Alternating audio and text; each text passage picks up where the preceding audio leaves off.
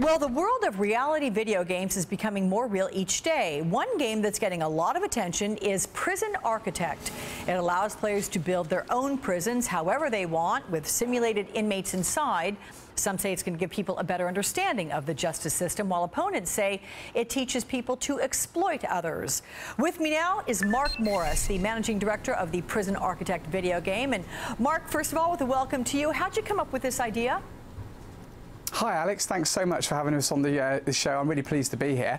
Um, the game idea uh, came from a holiday that um, our creative director went on to Alcatraz in uh, the beautiful city of uh, San Francisco. And basically, as he was walking around and looking at some of the, the mechanisms that open the cell doors and uh, some of the other kind of systems that were involved in, um, in that place, he, he started connecting the dots and thinking, we could build a, a simulation, we could simulate this inside a computer.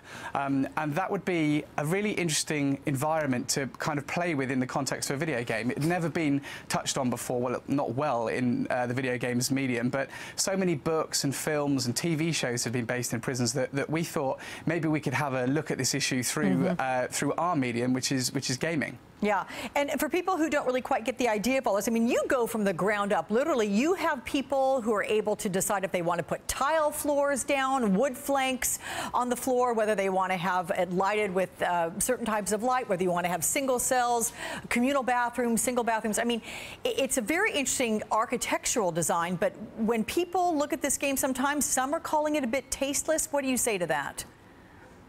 I don't think it's tasteless at all. Um, I think everybody in the world has an opinion on prisons. Uh, some people believe that they are not strict enough. Some people believe that they're far too strict and that we're not doing enough to rehabilitate the prisons that, uh, prisoners that are in there.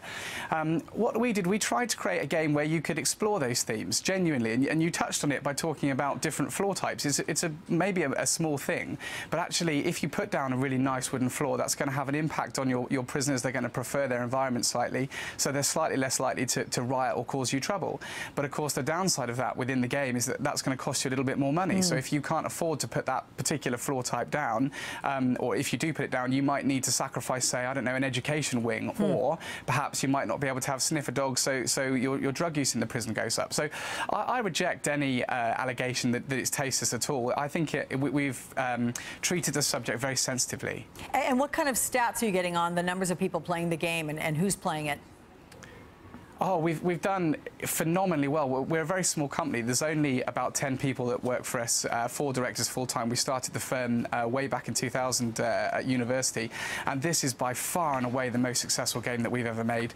Um, we, have not even finished it yet. It's still in what we call early access, and we've sold over a million uh, users now. So uh, we've got over, I think it's about 1.1 million people have played Prison Architect to date, which is just outstanding. Right, and how long has it been out? Uh, we started it in September 2012, uh, but like I said, it's not finished. So every month we, we produce a small content update where we add a new system or, or we tweak something. So um, we've been working on it slowly over, over the years, and um, we're going to be launching later on this year. But uh, as I say, not a long period and, and over a million players is just amazing. All right, well, Mark Morris, congratulations are in order then. Good luck. Thanks so much.